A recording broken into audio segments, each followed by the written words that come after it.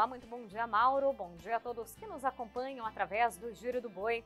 A imagem de satélite mostra nuvens carregadas concentradas no centro-norte do país por conta do avanço de uma frente fria aqui no Oceano Atlântico que acaba canalizando a umidade, dando origem a uma nova zacas. A zona de convergência do Atlântico Sul mantém a chuva persistente e mais intensa, especialmente em áreas entre Minas Gerais, Goiás, Bahia, Tocantins. Tem muita água para cair nos próximos dias. Mas antes da gente conferir esses destaques com relação aos sistemas meteorológicos, vamos à nossa interação A cidade em destaque hoje é Itaquiraí, no estado de Mato Grosso do Sul, que bem diferente dessas outras áreas que ficam na rota aí dessas acas, tem condição de pouca chuva nos próximos dias, nas próximas semanas. Esse gráfico mostra a projeção de chuva dos próximos 30 dias e são esperados menos de 30 milímetros na cidade, então um período agora com chuvas bem isoladas, maior predomínio de sol e também aumento das temperaturas. Já começando por essa quarta-feira.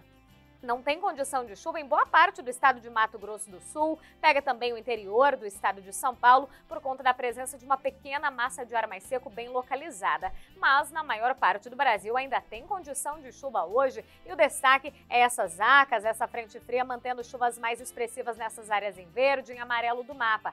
Volumes que devem variar entre 40 até 95 milímetros. Não se descarta o risco para transtornos relacionados a alagamentos, erosão do solo, a paralisação das atividades de campo. Mas, por outro lado, essa chuva mais volumosa faz também a reposição hídrica do solo, algo que é benéfico principalmente para as áreas de pastagens. A condição com relação à temperatura ainda é de calor, mesmo com as pancadas de chuva máxima de 30 graus em Uruguaiana, 32 graus em Andradina, 32 também em Sorriso, até 33 graus em Miriti e 33 graus em Queimadas durante esta quarta-feira.